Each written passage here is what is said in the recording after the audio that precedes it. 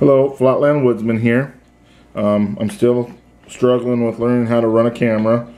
Um, but I would have. I'm to do a gear review today. Um, the what I work in the oil fields of North Dakota, and North Dakota is notorious for getting dark early in the uh, evenings. Oh, normally five o'clock we get dark.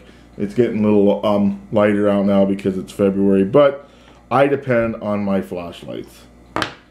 Um, I'm just like everybody else. I'm a Maglite guy. I've had Maglites all my life, and they've treated me good.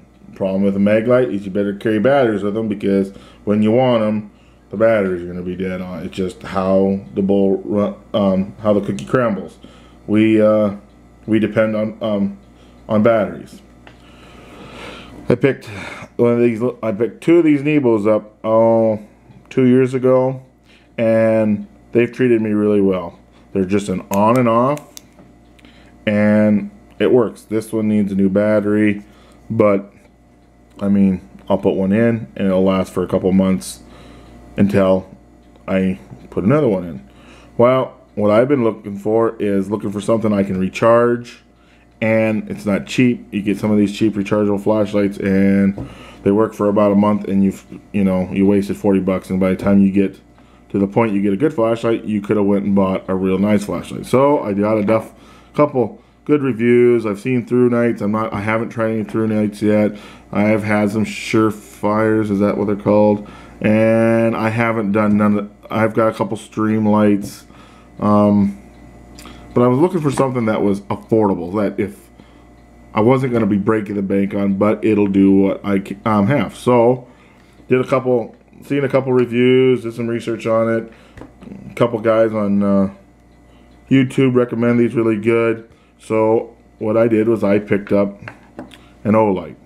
And the one I picked up because of the battery size and the lumens is a S 30R baton.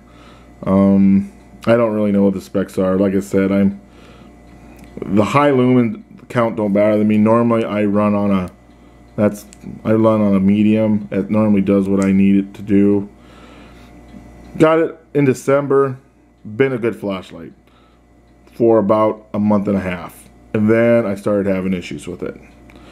That kind of bothered me because I spent $80 for this flashlight on eBay. Uh, I can't remember if I bought this one on eBay. I do a lot of eBay shop, and this could have been right from a direct flashlight guy. But what started happening was when I, would play with the flashlight, of course, like most people do. And when evening came around, when I really needed it, flashlight wouldn't turn on. I'd tap it a little and then it would come on, or sometimes I'd get a red indicator light here saying that the battery was dead. And I'm like, well, that can't be right. You know, shoot, I've played with flashlights all day long. And I've never run the battery down kind of thing. And I thought maybe I was pushing it and it was going, um, turning on in my pocket because of where the this button is. I thought maybe it was depressing on like my keys or something, but that wasn't key. Well, come to find out, last week it stopped working altogether or it would it would be low and then the light would be on. I couldn't figure out what it was. So I emailed Olight because of course I was 30 days over on my my store warranty or what I think it was store warranty would and um, never got um, never got a uh, response back. So I set it in the deal and it would just the light would just blink. It wouldn't charge, you know, and um, there was nothing. I couldn't figure out nothing to do it. So of course, wonderful web internet. I went scrounging around and come to find out somebody was having this issue as well. And it comes to find out that what happens is with this magnet that's on the end here, it collects residue like shavings, metal shavings, or I mean, you drop it in the dirt, stuff like that, and it binds this little this little um, charger. There's a safety pin. Right here, this is a charger right here, and it pushes in and out, and if it don't, it doesn't have smooth full contact, it won't charge, or it won't turn on, or the modes won't work. Well, don't really like that idea because I depend on my light. I depend when I grab it on my pocket, it to turn on. Well, just today I got a response saying, "Oh, just send send the flashlight in and we will replace it or get you another one." Well, it bothers me to send it in now because I took it apart and it already says in the warranty that it voids the warranty. And here I am making a video about it. I kind of guess, lied about it, but it's my flashlight now. I void the warranty. However, I went gung-ho with these Olights because, again, I like this charger. This charger is a neat system. I could put one in my truck. I could have one. It would be a true EDC. It would be ready. It would be ready to go. Oh, see this one's see it's still having twitches. I I'm still got to figure out why it's doing what it's doing. But again, eh, it's just something to play with. I have huh, apparently oh here it is. I bought an SR 25 uh, RSR20, a little smaller flashlight, same same idea. I noticed I've been looking at it today. I noticed it has a different, it has a a bigger charging area than this um, S30R. So maybe they have fixed it. Maybe this was an older model, but that's kind of, I can't balk about the light. I'm just balking about the dead dependability, the being able to turn it on, turn it off. Well, I wanted a bigger flashlight, and of course, I bought another Olight because it's rechargeable. I've, I like this whole idea of rechargeable. And yes, people are going to look at this video and say, oh, you can buy a different. Well, right now, the Olights are meet, meeting the criteria. I mean, this is a, I don't know, I paid 119 for this light. And it turns on, it turns off. Is there modes? Yes. Well, that's where this one comes right out of the box. This one has an issue with the modes. Of course, sometimes it does it. It's like this is medium mode. This will be the mode that I use most all the time. It'll sit here and start flickering, and then you will have to start messing with this battery. The benefit I do like about this flashlight, which I wish this flashlight had, and this flashlight had, is it has a lock system. You can push this button, and it'll lock out. And I love that. Because then, I can put it in a case, and this is a Nite Ize flashlight utility case, which I really like. It needs to be broken though because it's a fucker to get. But it's it's you know I'm I'm kind of up trying to upgrade to my flashlights. I'm trying to retire the whole Maglite style and get myself some nice ones. But again, I've had issues with this one already just in those first two days of having it. So is it a good flashlight? Does it throw really good? Absolutely. It's just I don't know. I, I just it I when I grab a flashlight out of a box after spending $119, that sucker should turn on and off. And here we go. I got an on sale keychain flashlight. Double A. Turns on, turns off, turns on. I've thrown this across the room already a couple times and it still works. So if I threw this one across the room, I would have to sit here and play with this button a little. Now, if you have this and you're looking, oh man, does I have a flashlight that's doing the same thing. After you take it apart, which the inside of this is not really hard. You take a little small screwdriver and you can loosen it. Be careful because the pieces have a spring in it, spring loaded, and you can clean it. Mind you, it voids the warranty because you're not a qualified Olight technician, but oh well, that's that that was my choice I took.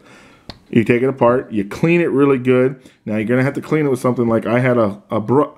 I not didn't have a brush, but I had a like oh an oilcloth I put through there. Try to get that the magnetized pieces off of there, and I take it apart now.